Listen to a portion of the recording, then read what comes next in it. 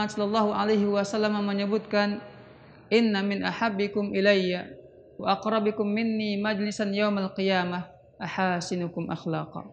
Sungguhnya orang yang paling aku cintai di antara kalian dan paling dekat denganku tempat duduknya pada pada hari kiamat ialah orang yang paling baik akhlaknya di antara kalian.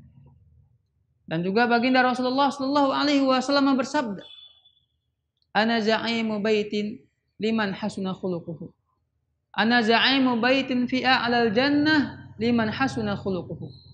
Aku menjamin surga di rumah, rumah dalam surga yang paling tinggi. Aku menjamin rumah di surga yang paling tinggi bagi siapa yang akhlaknya yang mulia. Dan juga Rasulullah Shallallahu Alaihi Wasallam pernah ditanya tentang apa yang membuat manusia banyak masuk ke dalam masuk ke dalam surga Allah Subhanahu Wa Taala. Apa yang menyebabkan manusia banyak masuk ke dalam surga Allah Subhanahu Wa Taala?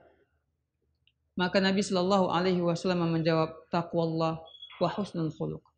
Takwa kepada Allah dan akhlak yang mulia. Begitulah keutamaan akhlak yang mulia di sisi Allah Subhanahu wa taala.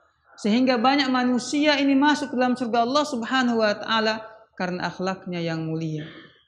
Akhlaknya yang budiman, akhlaknya yang baik. Akhlak karimah sebagaimana yang sering kita sebutkan di masyarakat kita. Maka di antara contoh-contoh akhlak yang mulia dalam Islam yang Nabi Shallallahu Alaihi Wasallam banyak jelaskan tentang keutamaan-keutamaan akhlak-akhlak ini, di antaranya ialah menahan amarah, menahan emosi. Pemirsa yang budiman rahimani wa rahmatullah, siapa di antara kita yang tidak pernah emosi? Siapa di antara kita tidak memiliki sifat amarah? Tentu semua kita memiliki sifat amarah, emosi, ingin melampiaskan amarah dan emosi kita kepada orang lain yang, yang kita tidak sukai atau yang kita benci. Ini tabiat kita sebagai manusia.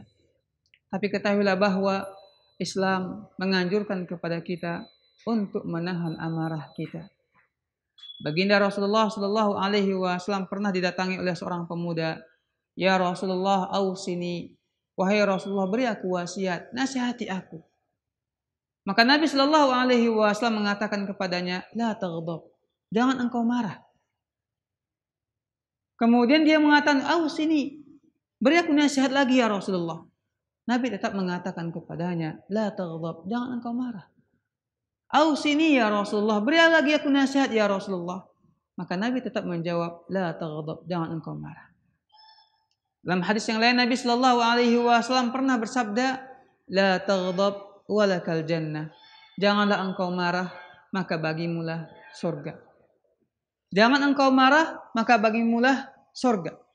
Ini sabda Nabi Muhammad Shallallahu Alaihi Wasallam tentang keutamaan orang yang menahan emosinya, menahan amarahnya. Bahkan dalam sebuah hadis Nabi Shallallahu Alaihi Wasallam juga menyebutkan, man kadzama ghaidan wa huwa qadirun ala an yunfidahu da'ahu Allahu yawmal qiyamati ala rusu'il khalaiq hatta yukhayyirahu minal huril ain ma syaa. Barang siapa yang dia itu mampu untuk melampiaskan amarahnya Barang siapa yang dia itu mau emosi, mau amarah ataupun marah dan dia mampu untuk melampiaskannya tapi dia tahan. Maka kelak pada hari kiamat Allah Subhanahu wa taala memanggilnya di hadapan seluruh makhluk dan dia Allah Azza wa Jalla suruh pilih beda dari mana yang dia sukai. Beda dari mana yang dia kehendaki. Yang dia inginkan silahkan pilih.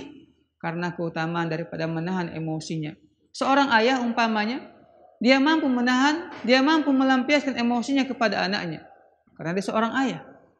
Atau seorang suami, dia memiliki kekuasaan kepada istrinya. Dan dia mampu melampiaskan emosinya kepada istrinya. Karena istrinya, istrinya berbuat jahat kepadanya. Atau menyakiti hatinya. Atau melakukan hal-hal yang tidak dia sukai. Dia mampu untuk melampiaskannya. Maka ketika itu dia menahan emosinya. Yang seperti inilah yang kata Nabi Shallallahu Alaihi Wasallam kelak pada hari kiamat Allah panggil dia kemudian Allah Subhanahu Wa Taala suruh pilih dia dari mana yang mau dia ataupun yang dia kehendaki.